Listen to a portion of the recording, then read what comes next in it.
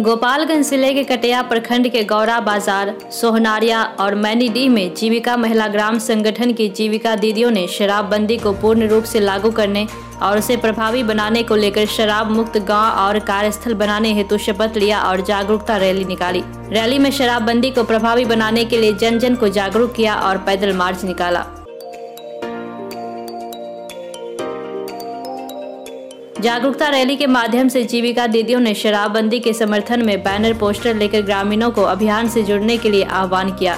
इस मौके पर सामुदायिक समन्वयक विकास कुमार, सत्येंद्र कुमार चौरसिया नवोमणि लेखापाल छोटे लाल यादव, रीति कुमारी सहित अन्य मौजूद रहे।